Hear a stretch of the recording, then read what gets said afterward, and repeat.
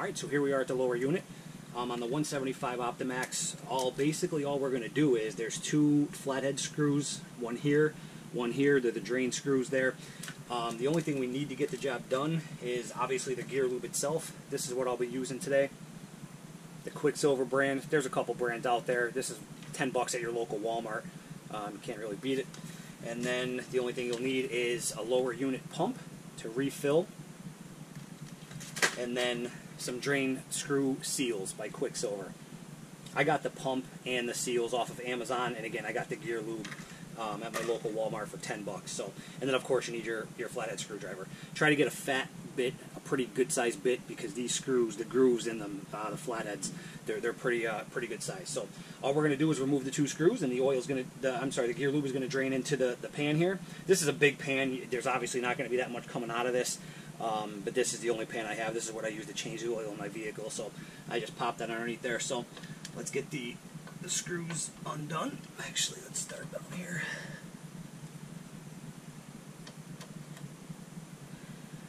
So again,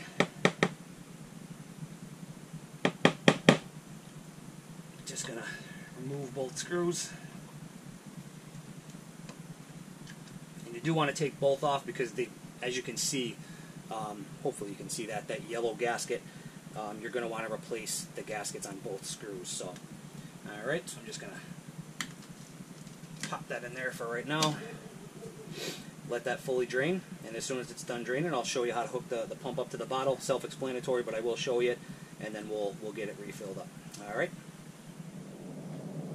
Alright guys, as you can see, it's basically done draining here. Um, so we got the, the two screws cleaned up and the new washers or the new seal seals on both of them. You can see them. The old ones were yellow. These ones are blue. Either one is okay.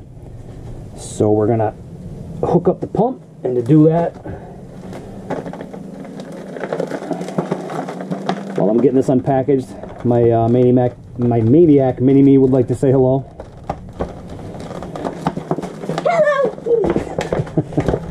that's what I deal with on a daily basis. Yay! Alright, so in the package with the pump, you're going to have obviously the pump and then the extension that's going to go down into the bottle here. So all you're going to do is you're going to take the extension, pop it into the bottom of the pump there, make sure it's in there nice and tight, and then self-explanatory. You're just going to set this down in the bottle, screw it on, like so. Again, just make sure it's nice and tight, nice and, nice and sealed up there. So then you're going to take this end, the yellow end, you can see it's threaded. So we're just going to screw it into the bottom hole.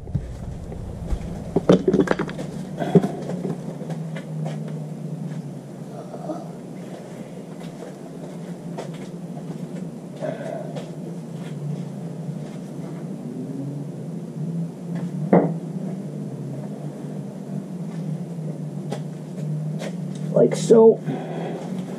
I'm just gonna wipe off the old gear lube that was dripping down there. in water, or is that just the bottom of the bin? It's gear lube, buddy.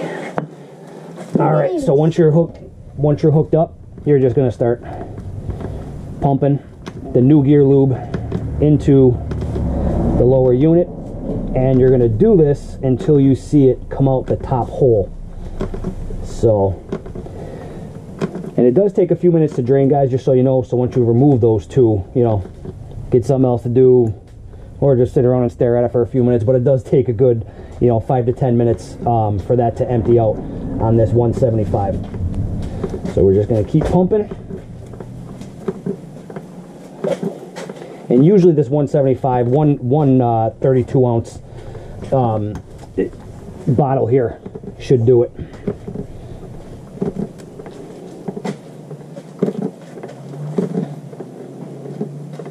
So I'm going to do this until I see it come out of the top hole.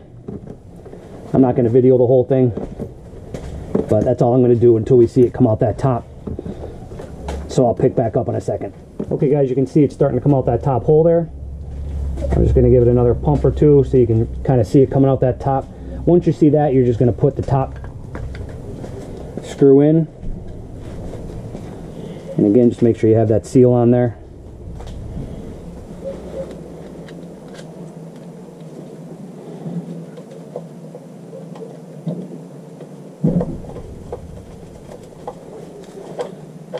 You don't have to get crazy, but you want to make sure it's good and tight in there.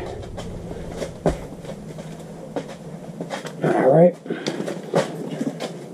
And now this is the this is the part you have to be a little bit quick on. Um, I mean, you don't have to panic over it, but as you unscrew this, you want to get the bottom one in there pretty quick before too much drains out. So.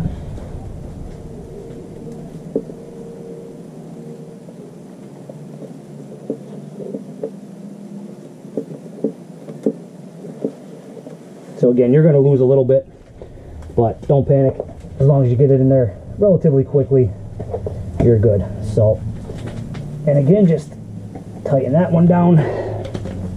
Grab your, grab your rag, paper towels, whatever you're using. Just wipe everything off. Make sure it all looks good. Make sure you don't see anything leaking. And you're good to go, guys. So that's pretty much all there is to changing the um, the gear lube for a lower unit on a 2018 Mercury Optimax Pro XS. So if you guys have any questions, concerns, comments, anything um, you want to see, feel free to leave it below. And um, stay tuned for, for many more fishing videos coming up. Again, I have that new Lowrance Ghost coming. It's going to be here Wednesday. And I'm pretty excited about that. So, all right, guys, thanks again. Uh, thanks for watching as always. And if you have any questions, let me know.